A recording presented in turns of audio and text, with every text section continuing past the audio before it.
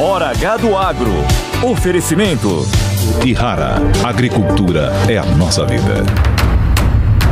Ihara.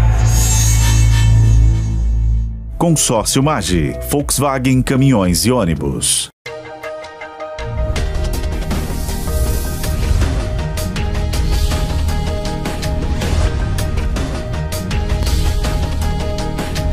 Hora H do Agro, com Kellen Severo. Sejam muito bem-vindos ao Hora H do Agro. Vamos aos destaques de hoje. A Argentina coloca navio de grãos em quarentena depois de suspeita da varíola dos macacos em tripulante. A gente vai entender se há risco da doença afetar a logística e o comércio global, como foi no caso da Covid. E mais, o preço do arroz volta à atenção do governo Lula. Ministro diz que saca deveria valer entre 90 e 100 reais ao produtor. Já nos Estados Unidos, Kamala Harris fala em controle de preço dos alimentos se vencer a disputa para a Casa Branca. Para a safra nova de soja aqui no país, você vai ver onde vai faltar ou sobrar chuva e ainda as influências do Laninha que vem por aí. E mais, no Canadá, a greve de ferroviários afeta a entrega de fertilizantes. Quais os riscos geopolíticos e de preço para a safra que começa em setembro aqui no Brasil? Tudo isso e muito mais no Hora H do Agro, que já está no ar. Nesta semana, autoridades sanitárias da Argentina colocaram um navio em quarentena após a suspeita de um dos tripulantes ter contraído a Mpox, conhecida como também varíola dos macacos. A embarcação que saiu do Porto de Santos, aqui no Brasil, tinha como destino o Porto de São Lourenço, em Santa Fé, na Argentina, e iria ser carregada com grãos. Uma equipe médica realizou os testes e com um resultado negativo para Mpox no tripulante. Novos testes serão realizados em toda a tripulação e a embarcação deve permanecer interditada até que se cumpram todas as exigências sanitárias que um protocolo internacional prevê. A mpox ou varíola dos macacos é uma doença causada por um vírus chamado monkeypox, que pode atingir humanos e animais. A varíola pode ser transmitida aos humanos por meio do contato físico com alguém infectado, com materiais contaminados ou com animais infectados. Entre os sintomas estão erupção cutânea ou lesões nas mucosas, febre, dor de cabeça, dores musculares, dores nas costas e falta de energia. A Organização Mundial da Saúde já declarou os casos registrados no continente africano como uma emergência em saúde pública de importância internacional, por conta do risco de disseminação global da doença e de uma potencial nova pandemia. Mas ressaltou que a varíola dos macacos não é uma nova Covid, porque a grande diferença é que já se sabe muito sobre esta doença.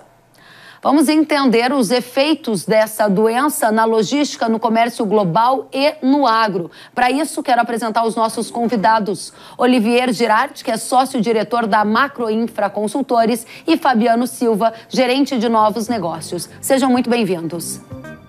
Muito obrigada pela companhia de vocês e eu começo com você, Olivier. As exigências sanitárias para suspeita da doença podem levar mais navios a ficar em quarentena? Como o risco de quarentena em navios afetados pela doença pode impactar cronograma de entrega de produtos agros, por exemplo, às vésperas agora da nova safra aqui no Brasil? Olha, Kellen, é, em princípio não deve ser o mesmo não deve ter o mesmo efeito que teve a Covid. A Covid foi uma uma pandemia a nível mundial que se alastrou muito rapidamente e que impactou severamente a, a logística uh, do agronegócio, porque ela uh, acabou afetando, uh, a, fechando os portos, né, de vários portos, por exemplo, como a China, ou, eh, que fechou todos os portos para navios atracarem lá. Então isso acabou impactando, foi uma tipo uma uma, uma uma bicicleta que foi sendo feita, né? ou seja, cada vez ia piorando a situação, ia uma espiral crescente de, de na logística, uh, e também de, de, pessoas doentes, né? ou seja, realmente um, um, volume de pessoas muito doentes, como, por exemplo, aconteceu no oeste dos Estados Unidos, que também impactou e acabou gerando uma, uma redução no fluxo uh, logístico como um todo.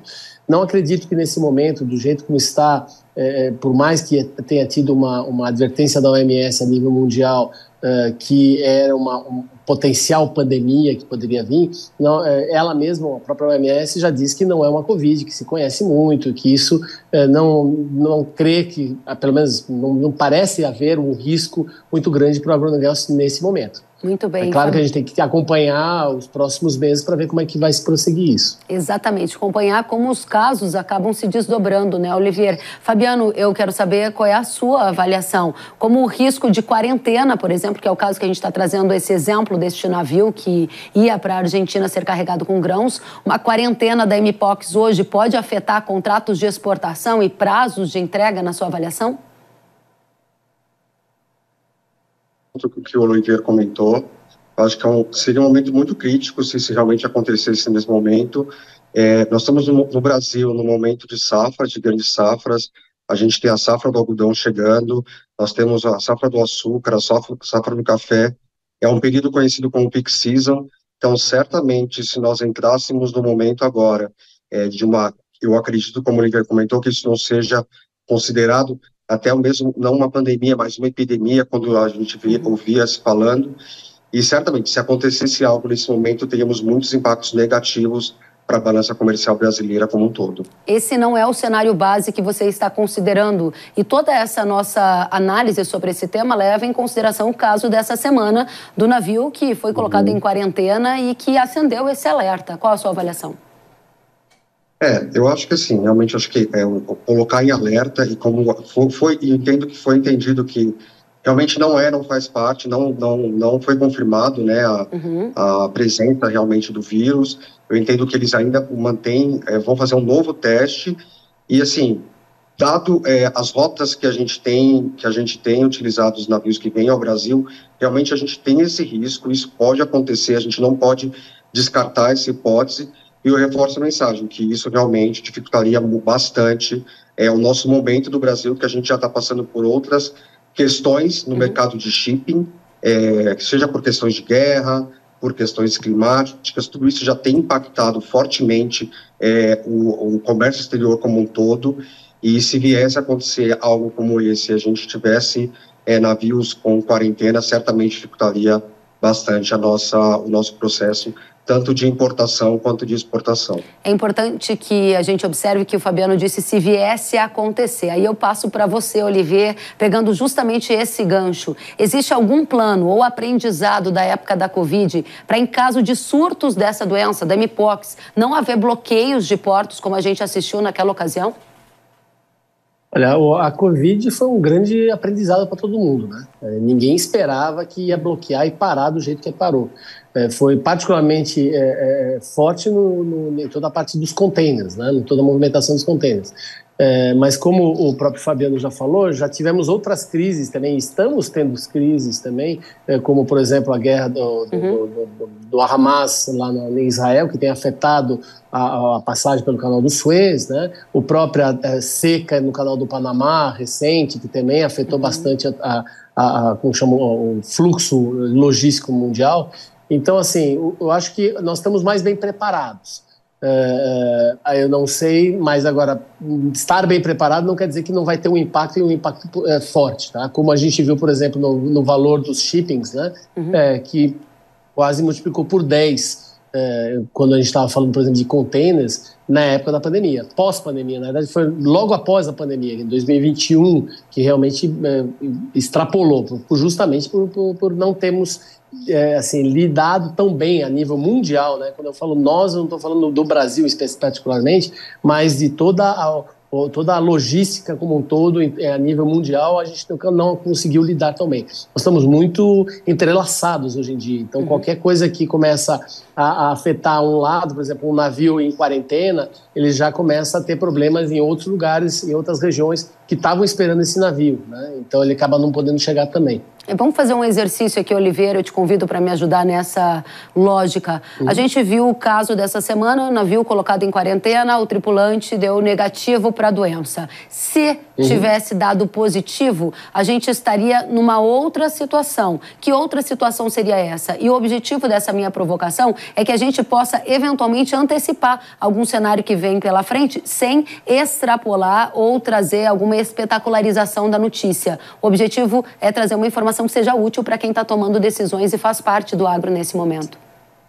Bom, eh, primeiro, esse próprio navio, né, que ele está em quarentena, como eu acabei de mencionar, ele, ele na verdade está bloqueado. Então, ele, da mesma forma como ele não pode estar tá, é, é, trazendo os grãos, ele, ele, também não vai ir sair, poder sair da onde ele está hoje em dia para ir no próximo destino dele, seja pegar uhum. grão ou levar grão, o que seja. Então, nós já temos um navio a menos, né? Mas um navio a menos não é tão problemático. O problema é quando você começa a pensar em 100, 200, 300 navios a menos. Aí sim você começa a ter um impacto significativo sim. em toda a cadeia global né, de, de, de, de logística de, de, do agronegócio. Muito bem. Aí a pergunta para você, Fabiano: quão distantes uhum. ou quão próximos estamos dessa situação de não ser apenas um navio, mas serem centenas de navios, dado que investigações sobre surto da doença podem se tornar mais corriqueiras? Elas vão se tornar mais corriqueiras? É parte do protocolo? E quão distante nós estamos desse cenário apontado pelo Oliveira? É, eu acredito que assim, a gente é, realmente, é, a gente está, não está próximo justamente pelo que foi dito no começo, né?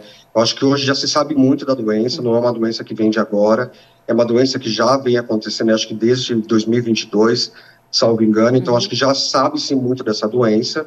Obviamente, é, a gente está considerando, a, as companhias marítimas, elas têm um ativo, né? Elas têm o navio e elas conseguiriam refazer reconfigurações. A gente está falando, eu, pelo menos aí é um, é um meu ponto de vista, eu acredito que é passar o que nós passamos na pandemia, uhum. eu acho que esse foi o grande desafio e a gente, no final do dia, por mais que nós tenhamos que ter, é, a gente pagou essa conta muito alto, eu acho que a gente aprendeu de alguma forma, a minha percepção é essa. Tá.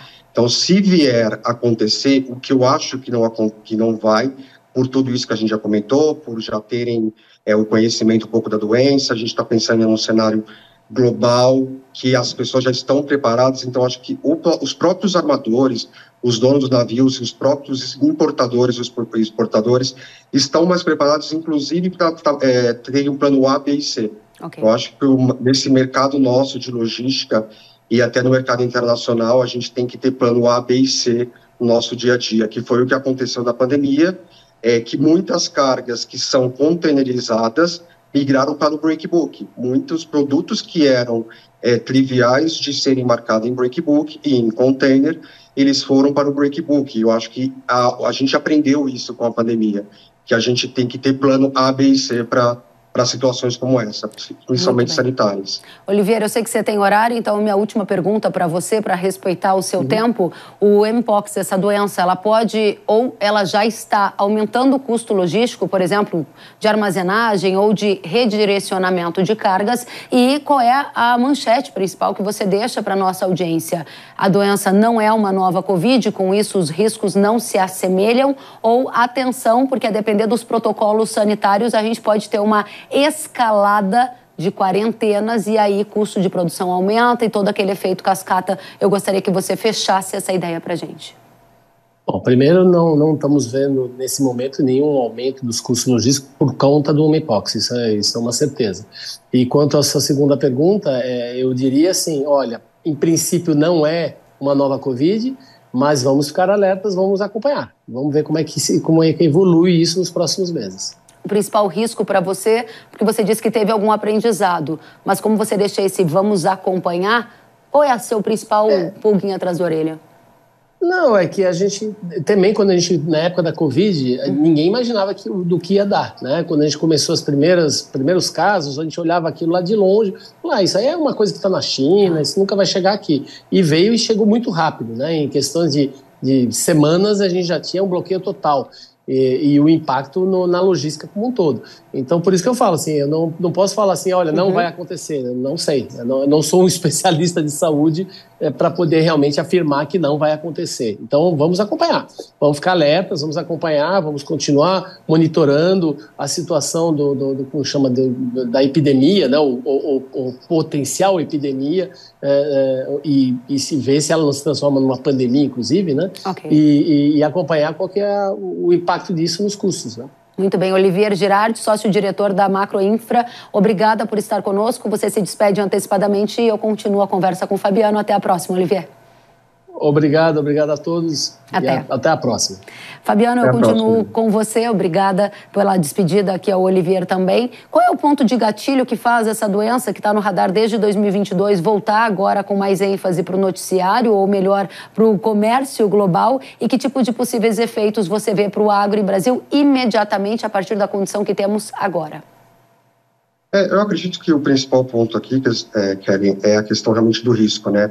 Eu acho que a gente tem que ficar. Acho que primeiro que a gente sabe, hoje a gente sabe de que forma que, que existe o contágio, existe uma possibilidade de prevenção. Eu acho que isso é muito importante a gente pensar na prevenção, porque também a gente está falando de pessoas. Acho que a gente, antes de pensar no negócio, a gente tem que pensar que isso é uma questão humanitária. Então, acho que, assim, para mim, eu vejo que o principal ponto aqui realmente a gente pensar na questão da prevenção, para que evitar evitar se qualquer é, catástrofe como a gente uhum. sentiu aí durante a pandemia, porque realmente foi foram anos desafiadores, eu acho que foram anos de aprendizados, é, muito aprendizado, a gente em toda a cadeia, seja do agro, do mercado agro, de outros mercados e do próprio mercado de shipping, é, a gente aprendeu e o que você comentou com o Olivier, tudo isso impacta em custo, todas essas questões, essas limitações pode impactar em mais custos do que nós já estamos tendo hoje em dia. Esse é o seu cenário base ou não? Mais custos virão pela frente em função da doença? Desculpa? Mais custos, custos elevados virão em função dessa doença? Tá certamente. Se nós tivermos restrições, questões, é, barreiras sanitárias, certamente a gente tende a ter é, maiores custos na cadeia logística. Isso aí é fato. É, isso já foi aprendido com o que nós passamos aí na pandemia e, de novo, todo esse cenário que nós já estamos enfrentando, seja do canal de Suez, seja das questões das secas que estão acontecendo no Panamá, mesmo aqui no Brasil, é, todas essas questões elas já impactam em, em custos elevados para a cadeia logística e certamente nesse, nesse momento ter uma, é, uma nova questão sanitária se aproximando, que a gente espera que não seja realmente é, tão pouco, uma, uma uhum. epidemia, tão pouco uma pandemia, então, acho que a gente tem que pensar que isso, assim, se realmente vier a acontecer, é, os custos vão se elevar, porque vai a questão de uma oferta e demanda, não tem jeito, né? E vai ter descrição. Muito bem. Fabiano Silva, gerente de novos negócios da Blue Logistics, muito obrigada por estar conosco. Volte sempre. Até a próxima. Obrigado, Karim, pelo convite. Tchau, tchau. Nós que agradecemos. E a gente vai em frente, o preço do arroz voltou à atenção do governo Lula. Isso foi o que disse o ministro do Desenvolvimento Agrário, Paulo Teixeira. Segundo ele, Lula teria dito que o preço do cereal está subindo em algumas regiões. O ministro ressaltou ainda que a leitura do governo é que o valor adequado do arroz no mercado nacional deveria ser entre 90 a 100 reais por saca, para que caiba no bolso do povo brasileiro. Atualmente, a cotação do produto ao agricultor está em cerca de 117 reais reais, de acordo com o CPEA, ou seja, acima do que o governo considera apropriado. Vale a gente lembrar que o assunto gerou muita polêmica, né? O preço do arroz, principalmente com o setor agrícola, já que depois das enchentes que atingiram o Rio Grande do Sul, que é um dos maiores produtores de arroz do Brasil, o governo quis importar o cereal e vender também o produto com preço tabelado nos supermercados. O leilão para aquisição ocorreu e, devido a suspeitas de fraudes, foi cancelado. O fato, na época, vocês viram aqui, levou inclusive à demissão do secretário de Política Agrícola, Niri Geller. Tudo isso aconteceu mesmo com os arrozeiros afirmando que não havia necessidade de importar arroz. A Conab também divulgou que haviam estoques adequados para o abastecimento interno. De toda forma, o arroz voltou ao noticiário a partir dessas declarações que há pouco a gente trouxe aqui.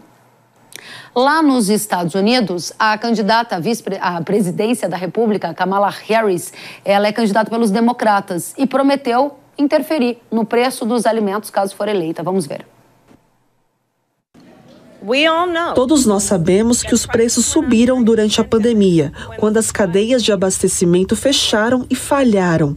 Mas as nossas cadeias de suprimentos melhoraram e os preços continuam muito altos. Como presidente, irei atrás desses maus atores do mercado e vou trabalhar para aprovar a primeira proibição federal sobre o aumento de preços dos alimentos. Vale lembrar também que na França, o controle de preços dos alimentos foi uma das medidas adotadas pelo presidente Macron. Implementada no ano passado, devido à alta da inflação no bloco, o governo francês forçou varejistas a vender produtos com prejuízo. É o que destacou, inclusive, uma reportagem do Financial Times, que foi alvo de análise aqui no Hora H do Agro em outras ocasiões. E a gente vai discutir o tabelamento de preços de alimentos, usando como premissa a volta do arroz ao debate público aqui no Brasil e também os casos dos Estados Unidos e da França, como vocês acabaram de ver. O nosso convidado é Christian Lobauer, cientista político. Christian, seja muito bem-vindo ao Hora H do Agro.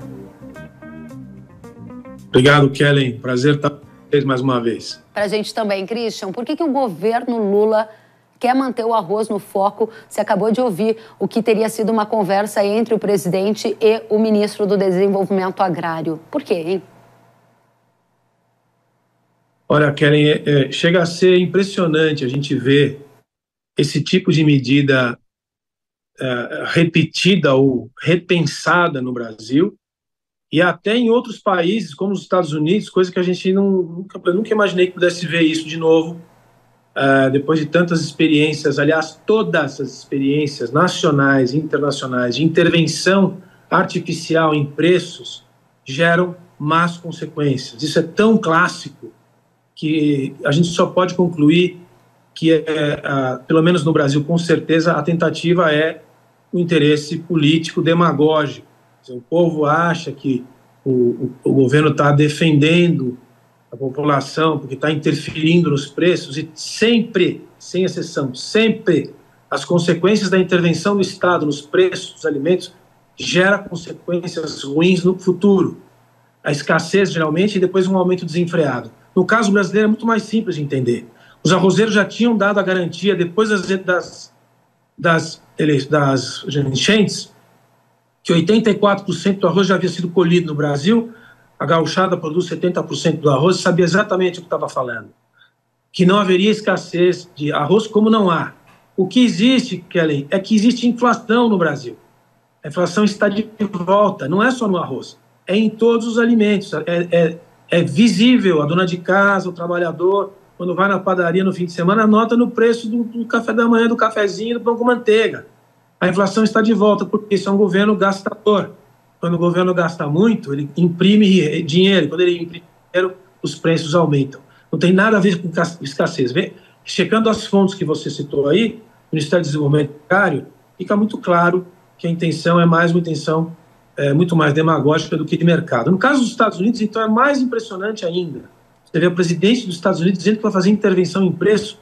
Me faz lembrar o presidente Sarney, em 1986, com o plano fazendo intervenção nos preços que gerou uma, uma hiperinflação, depois, para quem tem idade, ele se lembra, que é inesquecível, 100% de inflação ao mês. Quer dizer, é muito, é, é muito interessante, no mínimo, ver esse tipo de medida sendo, mais uma vez, é, colocada na pauta da economia.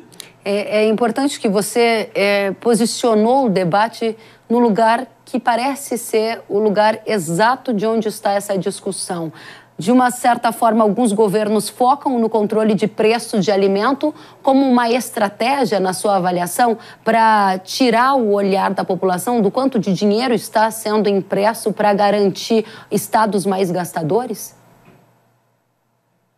Olha, intervenção é, em, em, em fornecimento de alimentos só se justifica em casos de catástrofe como consequência escassez, realmente. Não é o caso do arroz desde o início. A Federal Arroz, os produtores gaúchos deram vários números, várias informações que mostravam que o Brasil tinha condição de fornecimento. Então, esse foi o primeiro ponto. A, a importação de arroz só caiu pelo escândalo que foi identificado, inclusive, pela imprensa brasileira, é, na concorrência né, dos eventuais importadores de arroz, porque senão a gente teria provavelmente caído nessa cilada e teriam aí um excesso de fornecimento de arroz hoje com, é, feito nos preços e no bolso do produtor. É, é exatamente isso que a gente estava comentando antes, que você acabou de sublinhar. Essas são medidas que não é só o governo brasileiro, medidas que vários governos do mundo que querem fazer uma apresentação demagógica ao povo. Geralmente isso acontece com alimentos básicos e com combustíveis. Aliás, o caso dos combustíveis também acontece no Brasil frequentemente. Aliás, na atualidade, a gente tem assistido também intervenções no preço da gasolina, né, demagógicas para contenção de preço, e o resultado é o quê? Primeira coisa, o prejuízo da empresa petrolífera.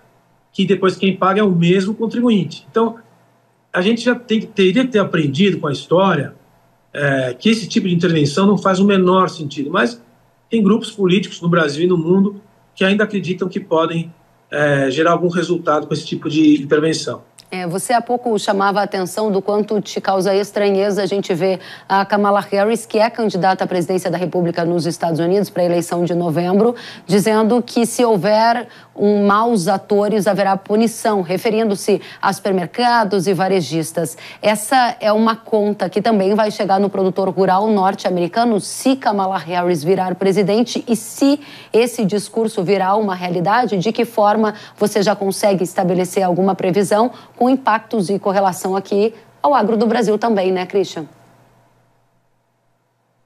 É, nos Estados Unidos, os Estados Unidos eles são os Estados Unidos, né? Incomparável com qualquer país do mundo. Eles podem mais, porque eles têm duas coisas que ninguém tem.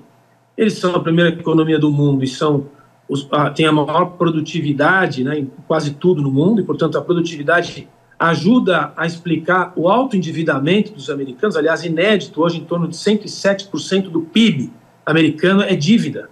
Então, essas medidas desse tipo e outras, como ela, a candidata anuncia, se eleita também vai é, é, dar um cheque de 25 mil dólares para a produção de casas populares, parece alguns países que a gente já ouviu falar em outros lugares do mundo, né? Chega a ser impressionante uma política desse tipo nos Estados Unidos, embora os americanos possam mais, porque além de eles terem, os, terem a grande produtividade que têm, eles, eles têm a moeda internacional, então eles exportam a inflação em dólar para o mundo, coisa que ninguém pode fazer. Mas é o mesmo tipo de demagogia, sem nenhuma diferença. Ela fazer um discurso populista para dizer para o povo menos conhecedor da matéria da economia o que é que vai acontecer se ela fizer intervenção. Ela está protegendo, em tese, protegendo o consumidor, coitadinho, que está sendo explorado pelas grandes empresas e pelos produtores de alimentos, etc. É, embora os americanos sejam diferentes, o resultado é o mesmo. É o mesmo. É um descontrole na frente e um aumento da inflação.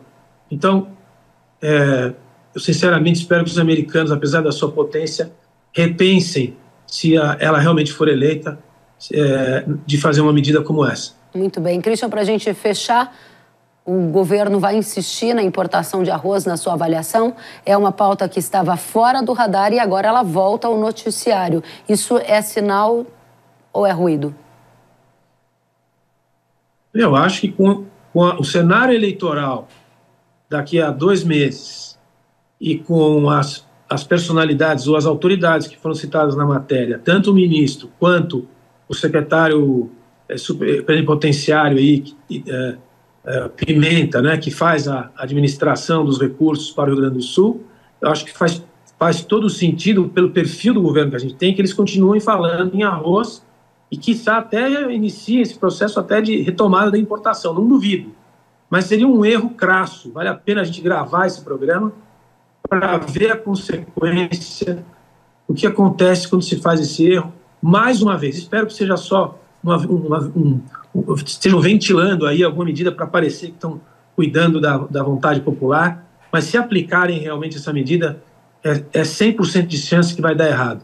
Muito bom. Christian Lobauer, cientista político, um grande conhecedor do agro brasileiro. Volte sempre ao Hora do Agro, a Jovem Pan News. É muito bem-vindo. Obrigado, Kelly. Prazer estar com vocês. Igualmente. Até a próxima. E depois do intervalo você vai saber onde vai sobrar e onde vai faltar chuva e como Laninha vai afetar a próxima safra de soja brasileira que logo logo começará a ser plantada. E tem mais a greve de ferroviários no Canadá e os efeitos na entrega de fertilizantes para o Brasil. A gente volta já já, eu espero você.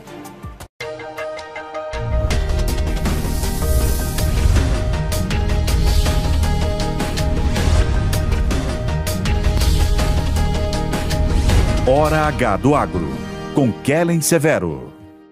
As doenças estremecem os investimentos e o planejamento da safra. Fusão fungicida da Irrara, com a alta performance e o baixo investimento no combate às doenças da soja. Imbatível no controle da ferrugem, mancha-alvo, antracnose, oídio e anomalia da soja. Rápida proteção, máximo desempenho em condições climáticas desfavoráveis. Consistência em alta produtividade comprovada pelos especialistas. Fusão da Irrara, o fungicida da soja que você tem que usar. Produto de uso agrícola. Venda sob receituário agronômico. Consulte sempre o engenheiro agrônomo. Zico, eu tenho a dica certa para você que não leva apenas sua carga, mas impulsiona o progresso. O consórcio MAGE Volkswagen Caminhões e Ônibus é ideal para ter seu caminhão novo aumentar ou renovar a sua frota. Zero de entrada, parcelas a partir de R$ 2.800 e aqui o cartão vermelho é para os juros. Deu o primeiro passo para essa vitória. Consórcio Mage Volkswagen Caminhões e Ônibus, a estrada da conquista começa aqui.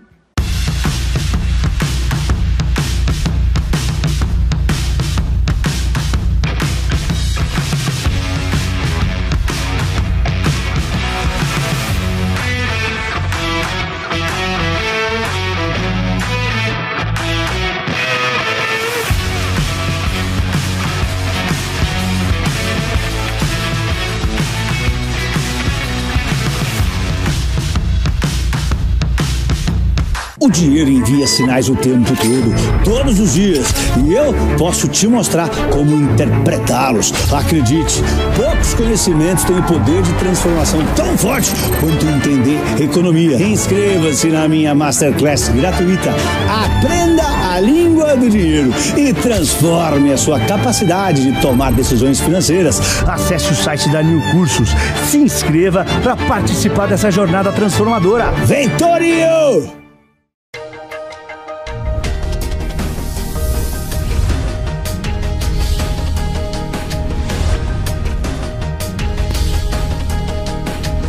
Hora H do Agro, com Kellen Severo. Estamos de volta com Hora H do Agro aqui na Jovem Pan News. Os agricultores brasileiros se preparam para a próxima safra de soja, que pode ser semeada já a partir de setembro agora. De acordo com o Ministério da Agricultura, produtores rurais de diversos estados do Brasil poderão realizar os trabalhos de campo de plantio da nova safra. Nesta tela, você confere as regiões que terão um sinal verde para a semeadura, como Mato Grosso, Mato Grosso do Sul, Goiás e Paraná, já a partir desse próximo mês. Mas enquanto a data para o plantio ainda não chega, os agricultores seguem de olho na previsão do tempo, já que o início dos trabalhos de campo também depende da consolidação das chuvas. Vale a gente lembrar que nessa temporada o fenômeno climático Laninha deverá estar em atuação, com possíveis impactos nas lavouras. O último relatório da Agência Climática dos Estados Unidos indica que o fenômeno deve surgir entre os meses de setembro e novembro, como você percebe aqui nesta animação e persistir no verão aqui no hemisfério sul. Na tela você também vê a probabilidade do laninha indicado nas abas em alaranjado, ou seja, ao que tudo indica, vem aí uma safra nova sobre a influência do laninha. O que isso significa na prática, a gente vai saber agora com o Marco Antônio dos Santos, diretor da Rural Clima. Marco Antônio, seja bem-vindo à Jovem Pan News. Eu que agradeço, é um prazer estar aqui com você, Kelly. Marco, obrigada pela companhia. Quando que as chuvas plantadeiras vão chegar e em quais regiões chegarão primeiro?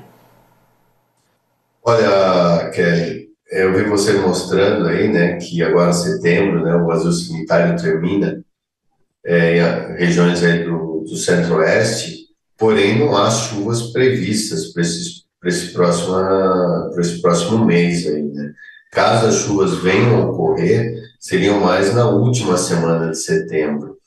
É, as chuvas deverão chegar ou continuar no sul do Brasil, né? Rio Grande do Sul, Santa Catarina e até mesmo sul do Paraná e algumas áreas do Paraguai deverão receber alguns volumes de chuvas agora é, nos próximos dias e até mesmo na primeira quinzena de setembro. Mas toda essa região central e norte, por conta já da laninha, né, apesar da gente não estarmos sob influência dela, mas só o fato das águas do Pacífico estarem mais frias, assim como também do Atlântico, isso faz com que as chuvas é, vem um pouco mais tarde esse ano. Então a gente só vai ver chuvas de fato, as chuvas plantadeiras, somente em outubro. Isso então, vai atrasar, sim, o plantio da soja esse ano no Brasil. Era exatamente a minha questão. Então, a sua sinalização, com base nas informações que dispõe agora, é a chuva não se consolida em setembro para as áreas que têm o sinal verde para começar a semeadura. Vai ficar para outubro a regularização das chuvas, o que significa dizer um atraso no plantio. A gente pode falar realmente em atraso e que atraso é esse? Quando que a gente vai ter a regularização das chuvas para que o plantio de fato comece a ganhar corpo no Brasil?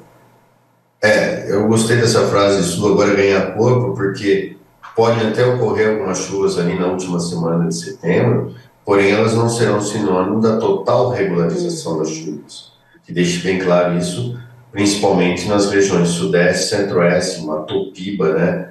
Ou seja, a, a, a, nós estamos vendo aqui que o, que o plantio da nova safra de soja só ganha corpo de fato na segunda quinzena de outubro em diante.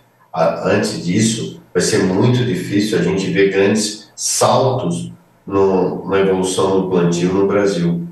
Importante. Marco, para a gente aprofundar, vamos aos mapas. Marco Antônio preparou alguns mapas para ilustrar as informações que ele está trazendo. Eu vou pedir para a produção, que já colocou no ar, o primeiro de setembro.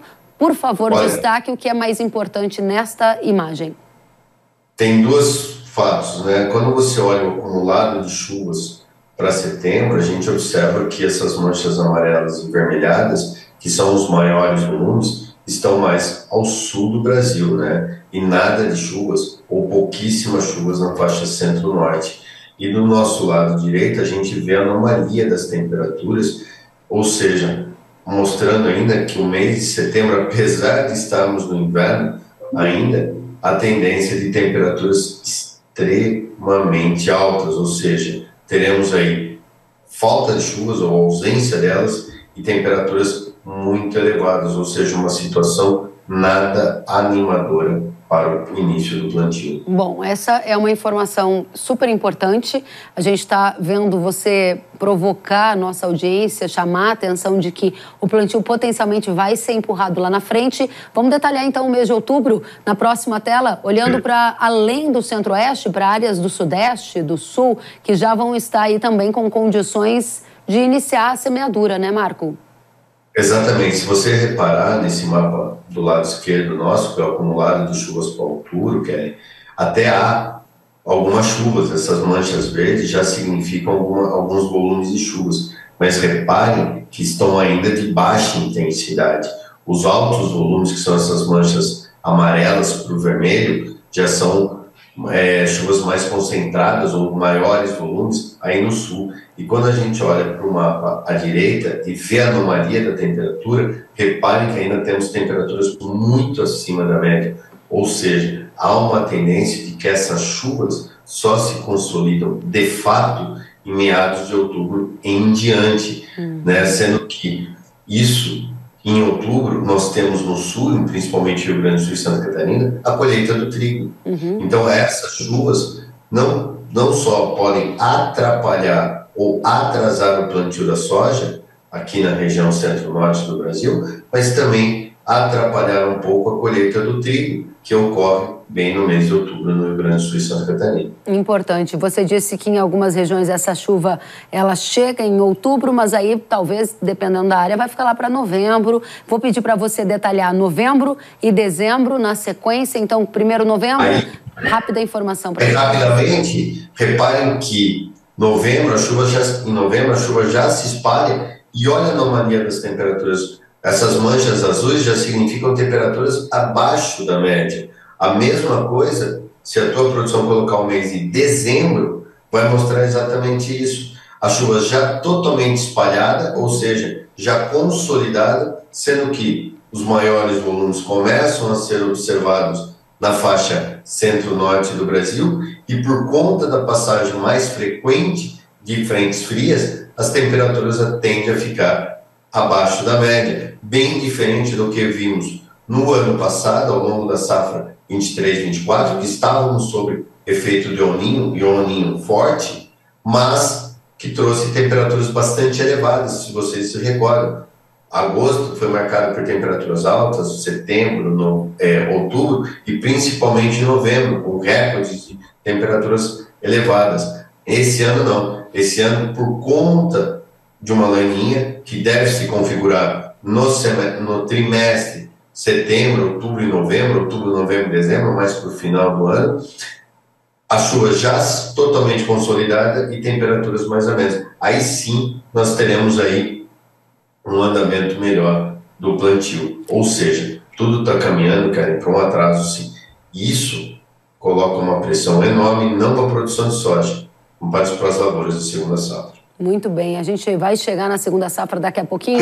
Antes disso, Laninha para o Brasil é um laninha favorável para a safra recorde? A gente tem visto algumas notícias dos Estados Unidos e eles dizendo que a safra de soja por lá vai muito bem. A safra daqui vai ser ajudada ou atrapalhada pelo laninha com as características que a gente sabe que ele terá a partir do que você disse?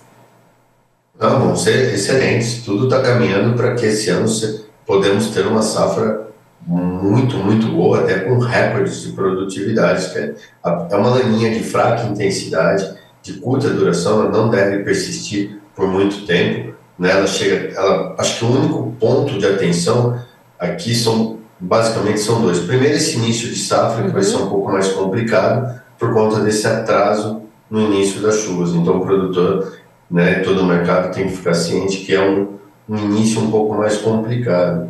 E depois, Talvez a gente vai falar um pouco de janeiro e fevereiro na sequência, mas com algumas invernadas ali no verão.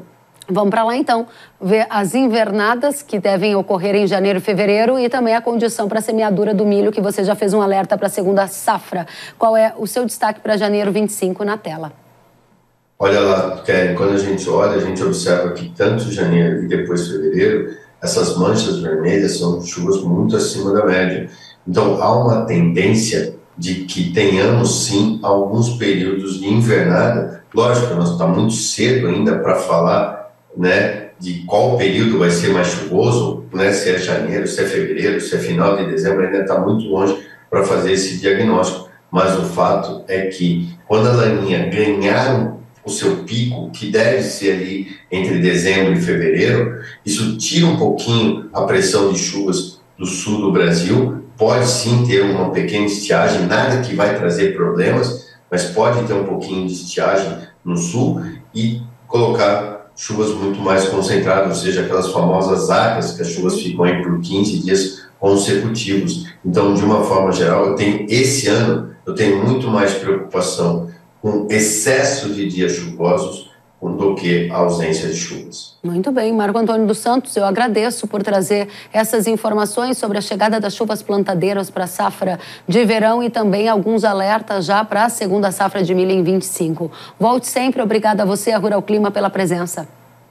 Eu que agradeço, Karen, sempre uma honra, um prazer enorme estar aqui falando com você e toda a sua, a sua audiência. Obrigada, Marco, até a próxima. E um levantamento realizado pela Confederação da Agricultura e Pecuária do Brasil revelou que o aumento dos preços dos fertilizantes para a safra 24-25 tem aumentado o custo de produção de agricultores. O estudo indica que houve alta expressiva do preço médio do adubo de maio a junho de 23, comparado com o mesmo período de 24 em Mato Grosso e no Paraná, ou seja, está mais alto para essa temporada. A exceção foi o cloreto de potássio, que registrou uma queda. Na tela, para quem nos acompanha pela televisão, é possível ver que a soja subiu menos em relação ao preço de alguns fertilizantes. Também segue no radar do agro conflitos geopolíticos que impactam nos nutrientes, ou seja, nos fertilizantes, e também a escalada das tensões, como é o caso do Oriente Médio e mais recentemente a invasão da Ucrânia na Rússia, que são importantes fornecedores do insumo ao Brasil.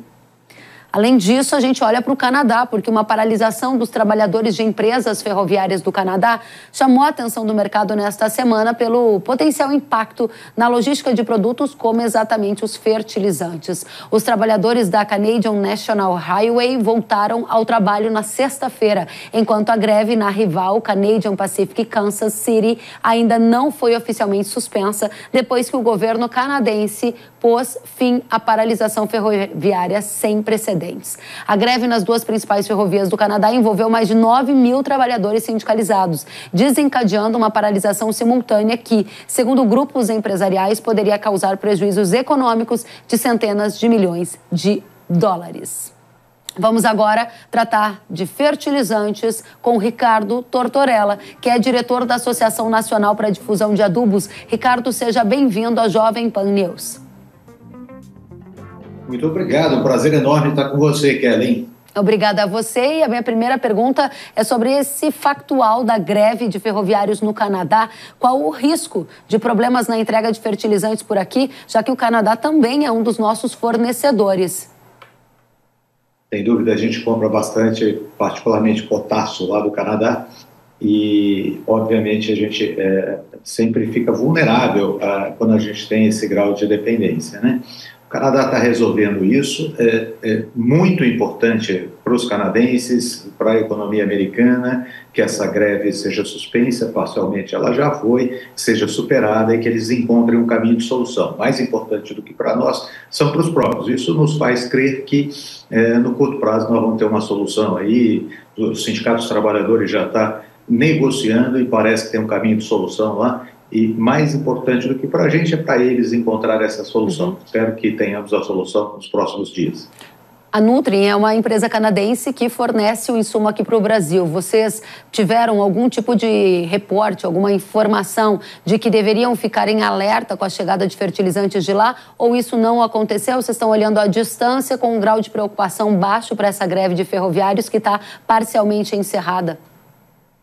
É, por hora nós estamos acompanhando é, parcialmente, apenas porque nós estamos acreditando que nos próximos dias nós vamos ter uma saída para isso. Não há impactos no momento na entrega de fertilizantes? Não, nenhum registro. Forte. Hum, muito bem. Avançando do Canadá para outras regiões do mundo, porque no final das contas, quando a gente fala de fertilizante, a gente também fala de questões geopolíticas. Ricardo, como fornecedores importantes, a exemplo de Israel e Rússia, que estão envolvidos em questões geopolíticas, em guerras, isso tem impactado de alguma forma mais direta o mercado de adubo para a safra 24-25? Se sim, de qual maneira? É, isso tem impactado desde sempre, desde que se iniciou essa guerra, a invasão da Rússia na Ucrânia. Na verdade, a gente já vinha desde antes, desde a pandemia, a gente vinha com situações é, geopolíticas muito complexas. Foram anos bastante adversos de situação geopolítica. E aí é importante a gente frisar que para termos é, uma safra de 300 milhões de grãos, a gente entrega 45 milhões de toneladas de fertilizantes. Dessas, mais do que 40 milhões de toneladas vem de fora. Nós dependemos dessas importações. 85% do que nós entregamos, a gente importa de fora em NPIK, né, nitrogenados, fosfatados e potássio. Então, é muito, é, é, o Brasil fica muito exposto e vulnerável. Uhum. Primeiro, a preços internacionais, porque uhum. depende dessa oferta e demanda. E cada vez que tem um, um conflito desse tipo, de uma ordem, uma guerra mundial, é, isso atrapalha os preços porque interfere no mercado de equilíbrio entre oferta e demanda. Então, cada vez que ou a oferta reduz ou a demanda aumenta, os preços é, mudam. E o Brasil é um comprador desses preços. Então, a gente é, tem que estar muito atento e acompanhar muito de perto as variações desse mercado. Desde que a Rússia invadiu a Ucrânia, sim, mudaram alguns relacionamentos. Eu acho que aquela etapa pior, três, quatro meses, que a gente não sabia se ter entrega, aquilo foi superado rapidamente, mas depois teve novos patamares de, é, de, de equilíbrio, né? E, e se procurou novos mercados e novos ativos e assim Cada vez que tem um fato novo, por exemplo, Israel agora e o mundo do Oriente Médio é um grande fornecedor para a gente, além de Israel. Então, falar assim, olha, é, a gente fica assim é, vulnerável e não é só a situação de guerra, a situação geopolítica é maior que isso e alguns conflitos mais simples que a gente tem e que acaba criando expectativas e que pode mexer é, nesse equilíbrio de mercado, como por exemplo a eleição americana. Dependendo do que acontecer na eleição americana, muda a taxa de juros, muda o preço do dólar, e nós, como é, importadores de 85% do que dependemos, é, ficamos vulneráveis a esses ajustes é, no mundo globalizado. Você fala em vulnerabilidade. É uma vulnerabilidade do agro brasileiro depender tanto da compra de fertilizante de fora. Recentemente, o governo lançou o Plano Nacional de Fertilizantes e disse que uma das estratégias era diminuir a dependência externa. Esse plano está avançando a ponto de trazer segurança para a produção agrícola brasileira ou os passos ainda são muito lentos e a vulnerabilidade citada por você continua, Ricardo? Continua. Isso é uma coisa de longo prazo. A gente tem que reconhecer que o plano está muito bem desenhado, é, tem excelente proposta, ele foi muito bem feito. Agora, ele é uma carta de intenção, ele começa a ser praticado e ele prevê um horizonte, é previsto dele lá para 2050, quer dizer, um cenário de, de 25, 30 anos, da gente mudar de patamar e poder produzir 50% do que é, o Brasil necessita. Então, ele só dependeria 50% de importações externas. Isso daqui a 25, 30 anos. Uhum. Então, o plano começou a ser executado. A gente, é, obviamente, trabalha para que ele seja executado o mais rápido possível e espera que os atores todos envolvidos, públicos, privados, trabalhem nessa mesma linha, nessa direção, para a gente depender menos do exterior. É, por uma questão de preço e por mais importante que isso, por uma é, vulnerabilidade de entrega, para garantir a nossa produção. Nós somos celeiros do mundo, uhum. produzimos alimentos, tem um desafio da humanidade de como comer nos uhum. próximos 10, 20 anos, né? aquela história de que a gente está aumentando o número de pessoas e já tem quase um bilhão de pessoas que passam fome na humanidade, nós temos que servir e adiantar, e, portanto, nós temos que aumentar nossa produtividade e produzir muito mais alimentos. Para isso, essa vulnerabilidade de insumos é uma fragilidade que a gente tem que vencer. Muito bem. Quando você fala em vencer essa fragilidade, isso levado ao pé da letra, em alguma medida, pode dizer para a gente que você, enquanto uma pessoa que está à frente da ANDA, se sente preocupado com o risco de faltar adubo em algum momento no Brasil por causa de uma eventual escalada dos conflitos geopolíticos ou mudanças trazidas pela eleição dos Estados Unidos? Esse é um pensamento real que passa pela sua cabeça ou não? Nos piores cenários da guerra lá no leste europeu ou no Oriente Médio, nunca faltou fertilizante aqui e não espera que isso aconteça. É exatamente isso, essa segunda alternativa. Quer dizer, nos últimos 30 anos, a gente viveu todas as adversidades uhum. possíveis. O brasileiro é criativo. E a indústria de fertilizante, mais ainda. Ela é madura, ela é inovadora, uh, ela venceu todos esses desafios e sempre conseguimos entregar. E veja que a nossa safra, a gente é, praticamente dobrou a área plantada e praticamente multiplicou por quatro a nossa produção. E isso nunca foi impedimento da gente ir para o mundo e continuar buscando e é, ser um player cada vez mais importante no cenário internacional, também na importação é, desses insumos. Uhum. A nossa indústria é muito criativa, eu confio muito na nossa indústria e quero dar o sinal claro que se a gente não tiver nenhum choque de ruptura, nós vamos sim conseguir continuar entregando em dia e ordem para o Brasil. Até pelo contrário, acho que o grande desafio que seria dobrar a nossa safra, eu acho que a indústria de fertilizantes está muito pronta em termos de pesquisa, de inovação, de tecnologias, para contribuir, e se essa for uma diretriz, eh, nós seremos parceiros desse crescimento e vamos fornecer produtor rural em dia e em hora. Muito bem. Saindo então do cenário internacional, em que a gente fecha com uma mensagem sua que eu diria acalentadora, que apesar das preocupações com o cenário internacional e geopolítico que tem mudado tão rapidamente, você tem confiança de que o agricultor brasileiro não deverá passar por uma falta de fertilizante, mesmo que o Brasil seja dependente de quase 80% de tudo que consome. Vamos para a próxima página, Ricardo, e a minha pergunta é sobre Brasil. As margens estreitas dos agricultores estão fazendo com que haja uma redução no uso de fertilizante agora para a safra que vem aí, 24 a 25? O pessoal vai usar menos adubo? É, Kelly, essa é uma pergunta que a gente ainda não tem uma resposta é, pronta. É, o termômetro que a gente tem, que a gente pode analisar, o produtor é muito bem preparado e muito, é, ao longo destes últimos anos, ele se qualificou muito, né? ele é muito bem, é, busca informações corretas para tomar as decisões corretas. E E aí, o, o fato simples é, sim, a relação de troca deles, a, a rentabilidade do produtor é menor neste momento, ele tem mais dificuldade, isto é real, é, se comparado com o ano anterior, depende com o que a gente está comparando também, mas é, é, é, um momento difícil e que a gente é solidário e respeita esse momento do produtor rural, mas a gente tem que entender o seguinte, o produtor sabe e conhece, olha, é, ele tem que fazer uma conta lá. Se ele comprar um pouco menos de insumo, cai a produção e a produtividade dele. Quando uhum. ele compra mais insumos, isso melhora a produtividade dele.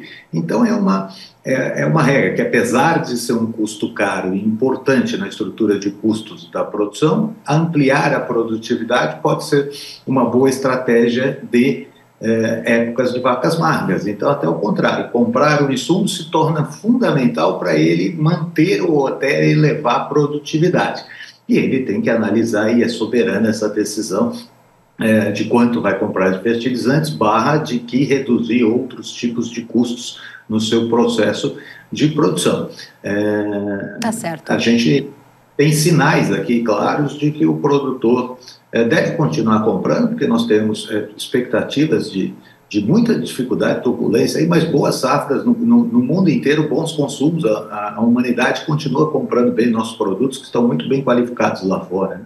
Muito bem. Ricardo, para a gente encerrar, discussões mais aprofundadas sobre fertilizantes na próxima semana, Congresso da ANDA.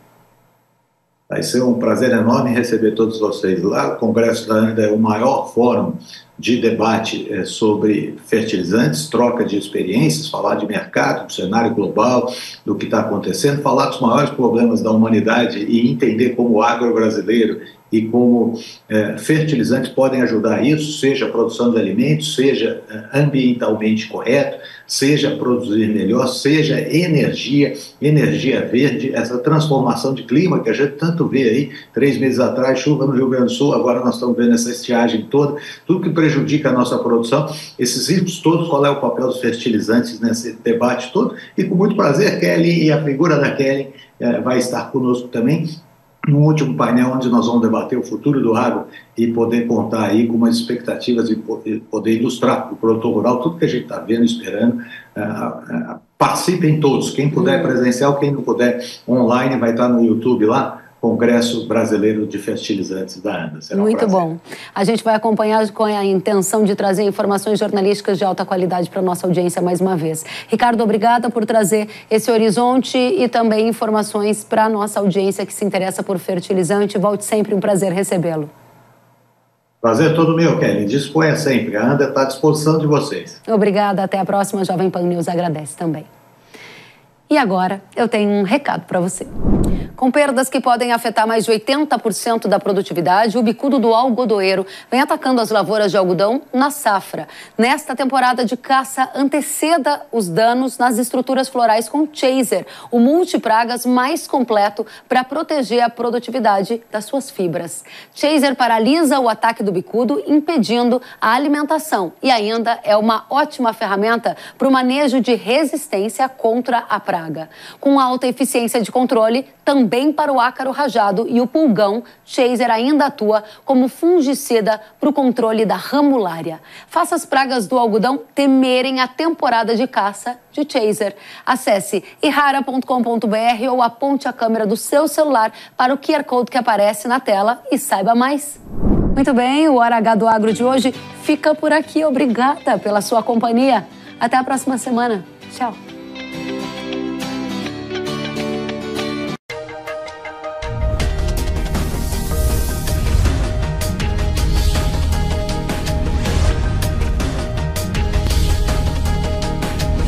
Hora H do Agro, com Kellen Severo. Hora H do Agro. Oferecimento. Ihara. Agricultura é a nossa vida. Ihara. Consórcio Magi. Volkswagen Caminhões e Ônibus. A opinião dos nossos comentaristas não reflete necessariamente a opinião do Grupo Jovem Pan de Comunicação. Realização Jovem Pan News.